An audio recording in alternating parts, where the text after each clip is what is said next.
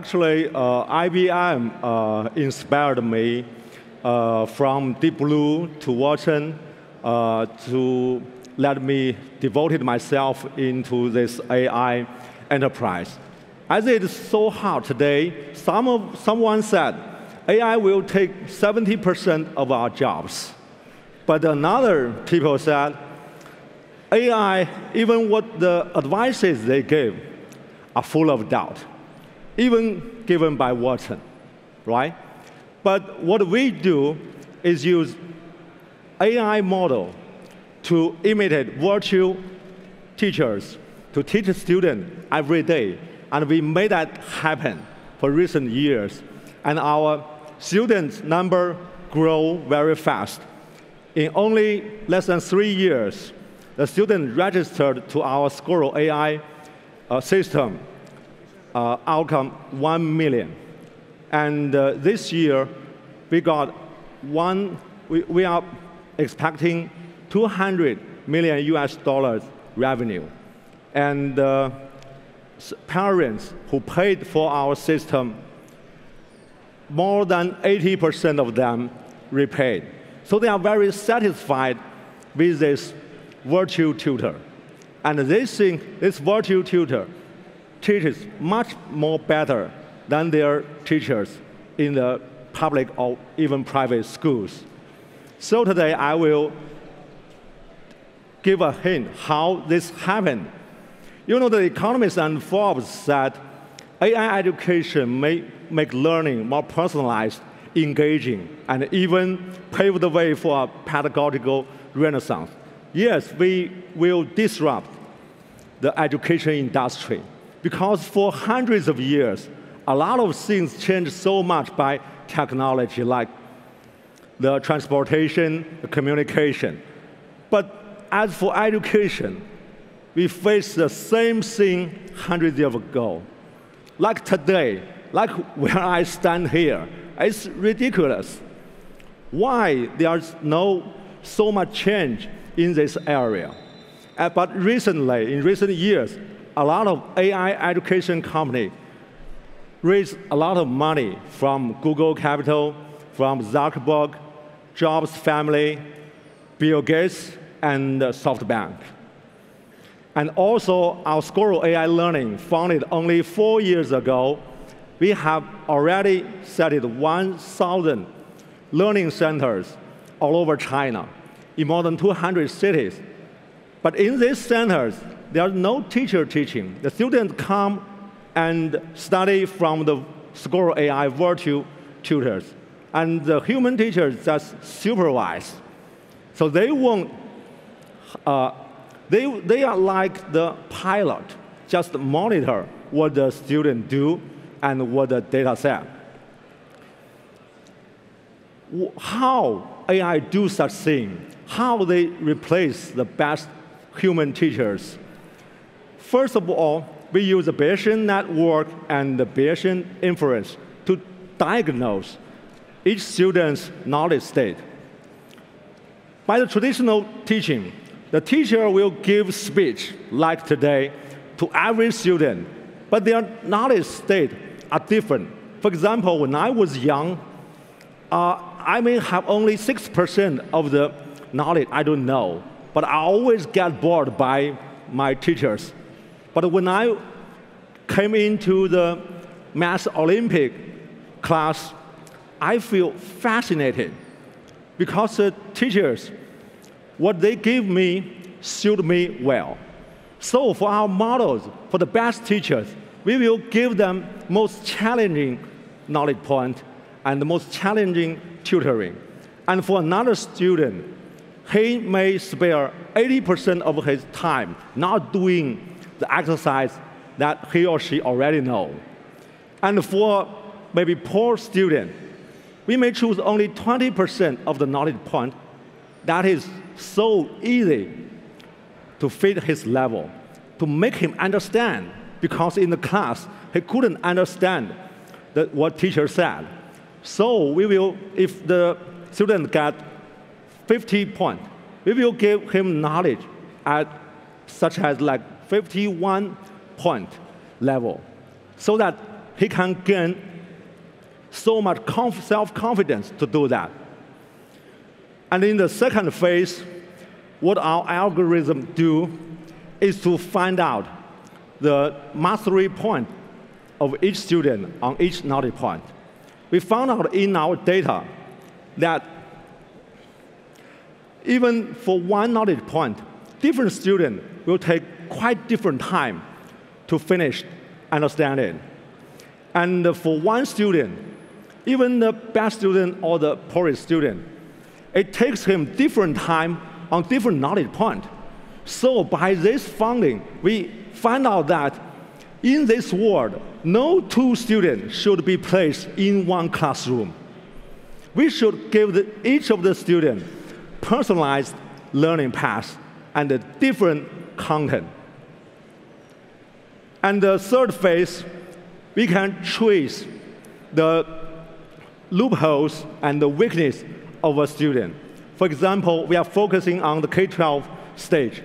If a student is in the ninth grade, but he couldn't just understand one knowledge point, it's mainly because there's a knowledge point from sixth grade or seventh grade that he didn't master years before, so that he could not understand this knowledge point at ninth grade, so that we can find out what's the real the illness is in it, and we can find out the students, their abilities to learn, and their preferences, and give them different things to learn.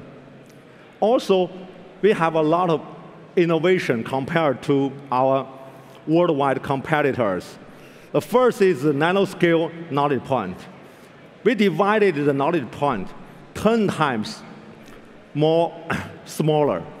It is like the pixels. If you use 100 pixels camera, that will not give you a clear picture. But we divided into very small scale. But it's, nobody have done it in the world. So we have to find out how to divide, and we have to give definition to each of the knowledge points by our own. And by such move, we can diagnose the student more precisely and give, give them the best choice.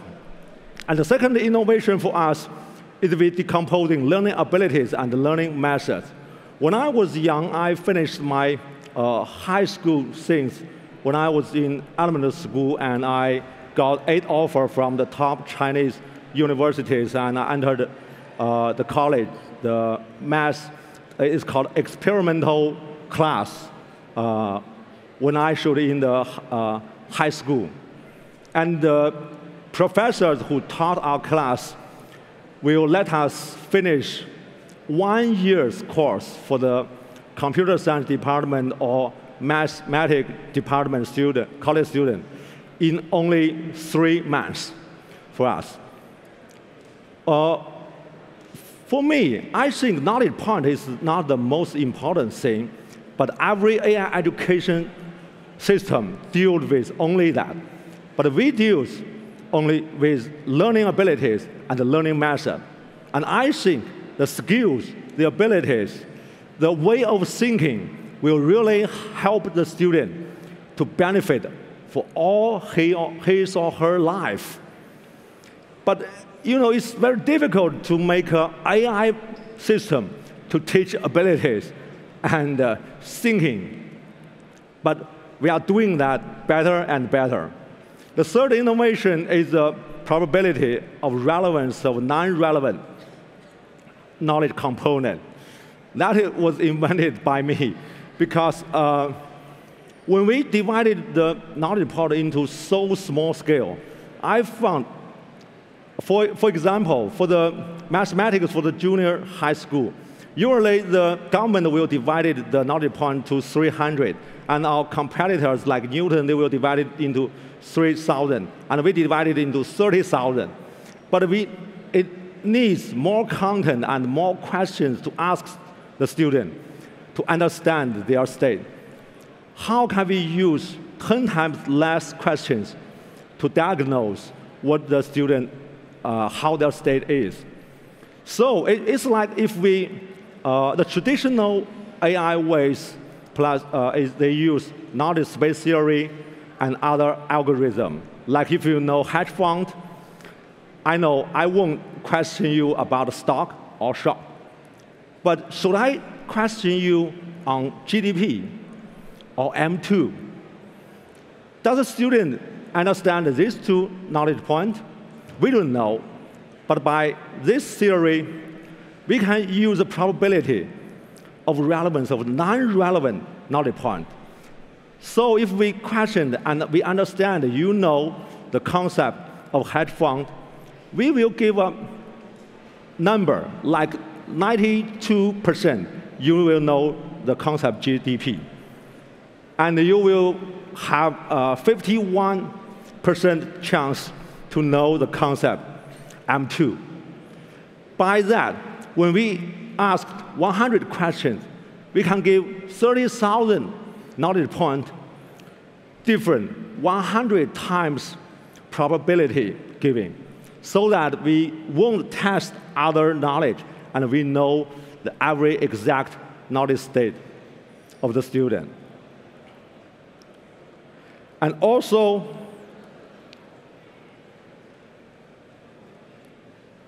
the fourth innovation is we are developing the first self-evolving model in AI education area. You know, it's like uh, AlphaGo Zero. First, uh, three years ago, our model used human experience from the teaching experts, their strategy to learn, their way to teach, and uh, how to deal with uh, different uh, students. But now, as we already gathered a lot of data from the student, from the million of students, and also we have detailed profile of each student we can use our AI model to imitate the student profile and use a virtual student to compete or learn from the virtual tutors. By that way, our model can evolve more and more quickly and give better and better result. So in Americans, uh, some of the AI education model already outperform the best human teachers. And in China, our Squirrel AI robot outperformed human teachers who are called the super teachers. This is a title the Chinese government gives the best teachers, one out of a thousand. And uh, even I am one of the best students when I was young. I never met a super teacher in my life because it's so hard to meet. And uh, CCTV, CNBC, NHK, and a lot of other press uh, reported that. And so after every seven, uh, three, three months, we gave another competition from our machine to the human teachers. Even some of the, uh, even one province of the government, they send out the teachers one on three students compete with our Squirrel AI system, and we win. And we, our, our paper are accepted by a lot of uh, very the first tier AI education summit and conference, and our chief architecture, our chief scientist went there to give technology speech, yeah, all over the world. This is Yang Lekai. And uh, we have a cooperation with the Stanford Research Institute, who invented Siri and uh, uh, the Da Vinci uh, robot. And we have a joint lab for already two years. In China, the K-12 after-school training system are very huge. And the top five of the companies, one of it, the third one, I was a co-founder at that there, and my company went IPO four years ago. You know, the top three of us have 20 or even 40,000 teachers teaching the student. You know, each of the teachers are teaching different flavor of teaching style. They give different qualities. So if you buy a service in that education, even in Harvard, I think, Sometime you will get, get the iPhone, and sometime you will get no name, whatever phone. Yeah, you can't expect it. But by the AI teachers, I think we can get maybe 30% or even 70% of the market. Uh, but the biggest one, education company, consists only 2% of the market. And we already opened learning centers all over China, even in Xinjiang and uh, northeast China and Hainan province. Uh, but in our centers, the students learn, come and learn from the computer. Yeah, they don't learn from the teachers. And you know, this is my driver's daughter. My driver failed his junior high school. And he spent too much time with me and his wife always scoping him about his daughter's uh, study because she always got uh, like 30 or 40 points in her exam. So, uh, his, his wife said, how can, can she do? She will fail the junior high school like you and get no jobless. And uh, the best she can get is maybe the driver. And when AI came, the driver will disappear. So what can she do? But by our system, only two months in summer holiday study, uh, this girl, she got uh, 50 points at the beginning test of the semester. And after one year, she got 80 points in her exam. And she entered the uh, career school held by the Boeing company. And after another year, she got the top three of her class and was sent to Seattle uh, at July this, uh, this year. And she can later work in Boeing. So by this AI model, we really change the kid's life. This is what we do, and uh, the students who uh, have participated in our system, and after that, they get big progress. And this is uh, the managing partner of uh, one of the biggest fund in China. It is kind of like Sequoia. And his son is uh, one of the best students in China, but after one year study by our uh, Squirrel AI system, he got 80 points higher. And also, we are providing our Squirrel AI open platform for every education organization who focus on K-12. And we give them the engine, the power to give better performance and service for the student. And also, we give out 1 million student account because our account is really expensive. Yeah. No matter in China or even in Europe, we are so expensive. But we give 1 million account to the underprivileged poor family to make every student can learn from the best teachers. And also we want to see the sparkle from the students' eyes. They won't waste time on useless exercises. And uh, they will get provoking, inspiring questions from our system because they know so much. They know nearly everything. They know nearly every teacher's the, the knowledge. And at the end, we want to build a super teacher as erudite as Socrates, as versatile as Da Vinci, and as intelligent as Einstein. And I think we not only change the AI world, we not only change the education industry, we really can help the student in the future to learn much faster, much efficient, and in happiness. Thank you.